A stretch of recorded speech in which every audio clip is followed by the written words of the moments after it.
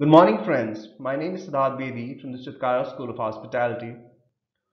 We have been discussing wines in my videos for a long time now, and today I'm going to be discussing about the production process for red wines.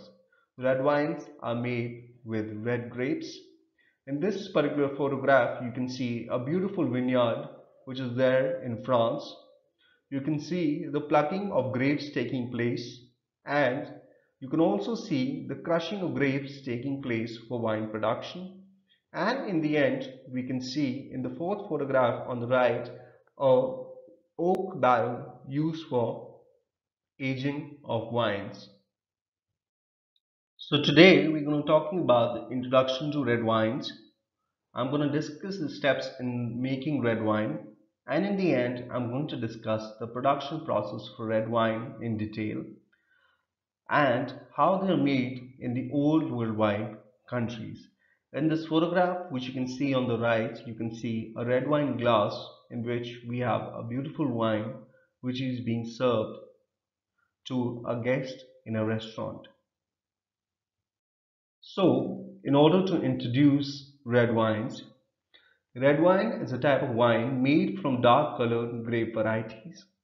The actual color of the wine can range from intense violet, brick, red or brown for red wines depending upon the age of the wines.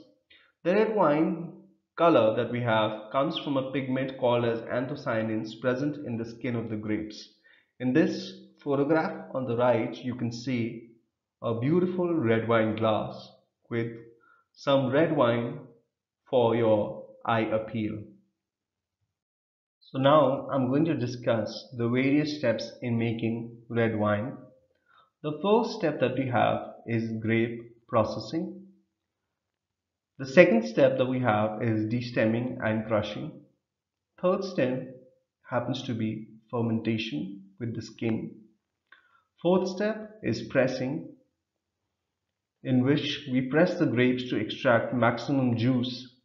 And the fifth step that we have is maturing in which we age the wines in oak barrels in order to make them better and in order to intensify their flavor, their aroma moving forward.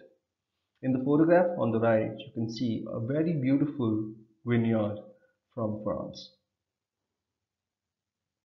The next steps in the red wine making process happen to be malolactic fermentation, which is done to remove the acidic content, filtration and fillings to remove impurities, blending which is done in order to blend the wine with wines from various other vintages and to have a different flavored wine. And in the end, we do the bottling, which is done as per the choice of the estate or as per the requirement of the distributor in the various different shaped wine bottles.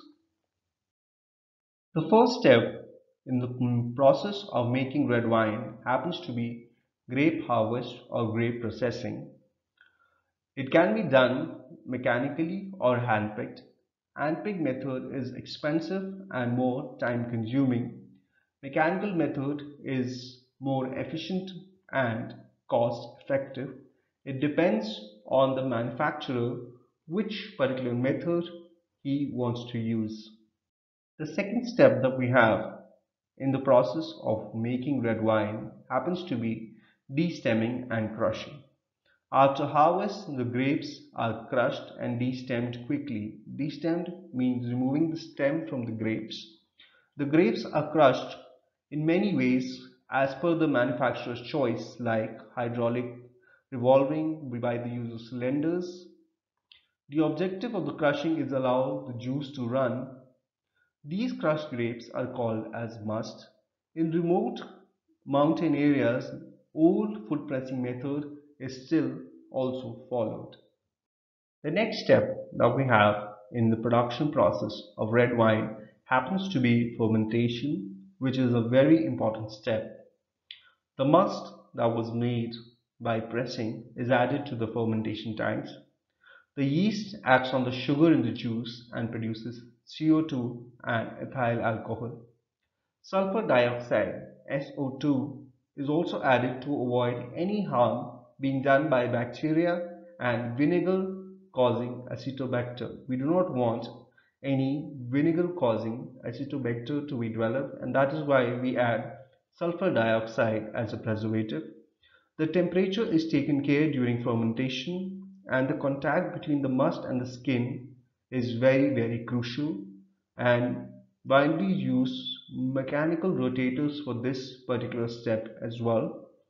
Fermentation stops when all the sugar is converted into alcohol and or when the yeast is killed. The next step that we have in the wine making process happens to be pressing. The new wine at the bottom of the machine is called as vin de goutte is racked in another container. The solid material at the top is pressed down to obtain vin de presse which is rich in tannin and colors. This is added to the vin de goutte and transferred for aging in a wooden vat. So basically this process is used to extract maximum flavor and to blend the wine together. In this photograph on the right we could see a traditional pressing machine which has been used as a model now to demonstrate what kind of machines they had in the past. This happens to be a wooden pressing machine. We also have automatic mechanical pressing machines available in vineyards these days. The next step that we have in the process of wine production for red wine happens to be maturing or aging. The wine is placed in oak wood cask. The cask can be from France, French, American or charred. During aging, wine absorbs vanilla flavor from the oak. Some amount of evaporation also takes place. Plus, the space created is stopped with wine to prevent spoilage. So when the evaporation takes place, the space created is stopped up within wine in order to avoid spoilage. Wine is transferred to another cask and the lees formed by yeast is left behind. So the impurity which is made by yeast is called as lees is left behind. So we transfer the wine during maturing to another cask. Some wines are aged for 6 months whereas some are aged for 3 to 4 years. Stainless steel tanks are becoming very popular these days for aging as they are very very economical. The next step that we have is malolactic fermentation. This is done in the case of red wines. During the aging process or the maturation process, a second fermentation takes place. The harsh malic acids in the juice get converted to lactic acid. This imparts a softer mouthfeel and an inviting palate and it reduces acidity in the wine. This is very very important in order to, to reduce acidic content. The next step that we have is filtration and filling. Wines appear to be cloudy at times as they contain very fine particles. Filtration is done to remove these impurities and solid matter like dry yeast cells. Finning is done with substances like egg whites, gelatin, isinglass. Isinglass happens to be the bladder for royal sturgeon fish. In this particular photograph, you could see various filtration and finning agents which are used for this particular procedure. The second last step that we have in this regard is blending. The process of mixing wines of different years, age, region and grapes. This is done to make a new wine with a different flavor. A winemaker may also blend wines for a variety of reasons so as to adjust acidity, alcohol levels, tannin content or to improve the color, aroma or flavor. Blended wines are then rested and finned again. So once we blend the wines, we will make sure that there are no impurities present and we would use the method of finning again. The last step that we have in the process of red wine production happens to be bottling. The bottling is done in sterilized bottles. The bottle is stopped with nitrogen or CO2 to displace oxygen. Then the corkscrew or the screw cap is attached and the labeling is done. Now, in earlier times, all these steps were done by hand.